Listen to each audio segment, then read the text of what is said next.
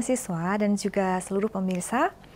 Oke, dalam video ini kita akan bersama-sama mengulas tentang uh, corak tekstil. Ya, oke, corak tekstil dan hal-hal yang mempengaruhinya.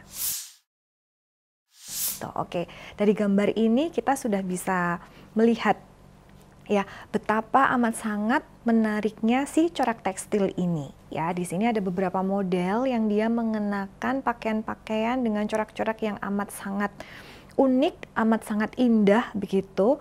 Nah uh, kita dalam kehidupan kita itu tidak bisa dipisahkan dari yang namanya corak tekstil ini. Benar begitu? Semuanya setuju ya dengan pendapat saya ya? Oke. Nah nah corak tekstil ini uh, nantinya ketika dia dibuat ada berbagai macam hal yang turut mempengaruhi itu. Nah, hal-hal apa itu nanti kita akan bahas dalam tiga bagian video ya. Jadi ada part 1, part 2 dan part 3. Oke, di video yang pertama ini kita akan membahas mengenai hal-hal yang mempengaruhi corak tekstil yang dia berkaitan dengan tren dan dengan unsur desain. Oke, kita berbicara dulu mengenai tren. Nah, apa itu tren? Ya, kita pasti sudah sering mendengar istilah tren ya. Semuanya, uh, semuanya orang bilang, oh ini tahun ini trennya sedang motif bunga-bunga. Oh ini tahun ini trennya kita sedang pakai sepatu heelnya di depan misalnya. Oh tahun ini kita trennya adalah memakai topi dengan pinggiran yang lebar atau memakai baju dengan uh, ini apa namanya size yang besar misalnya atau oversize atau apa pun itu kita sering sekali mendengar istilah tren. Jadi tren ini adalah sesuatu yang saat ini memang sedang apa ya mainstream gitu ya memang sedang hip sedang terjadi dan semua orang itu mengikuti itu. Nah sama dengan yang terjadi pada uh, tekstil gitu ya. Tekstil pun juga memiliki tren. Ya ada siklus trennya dalam tekstil ini meskipun tidak terlalu kelihatan gitulah kalau misalnya kita uh, berbicara tentang uh, motif dari tekstil atau corak dari tekstil ini karena uh, corak tekstil ini trennya akan mengikuti dengan tren yang ada pada desain uh, fashion, desain busana gitu.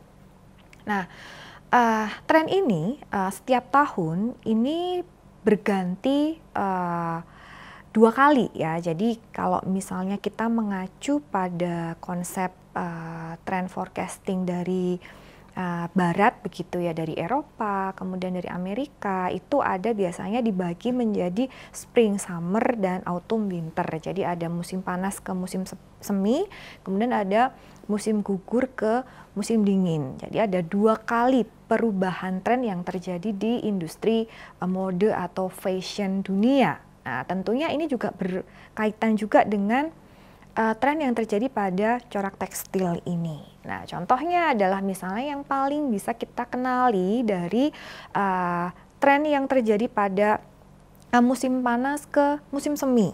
Nah, biasanya baju-baju yang uh, dikeluarkan atau uh, ini apa desain-desain pakaian yang dikeluarkan untuk tren musim panas ke musim semi ini adalah baju-baju yang ini ya apa namanya ringan begitu ya karena memang penggunaannya adalah di uh, cuaca yang panas ringan kemudian mungkin uh, tidak terlalu menutup tubuh begitu. Nah coraknya itu juga mengikuti juga. Jadi untuk corak dari uh, tekstilnya ini sendiri biasanya arahannya adalah ke warna-warna yang ceria ada warna terang biasanya, ada kuning, orange, banyak sekali bermunculan di sana hijau misalnya.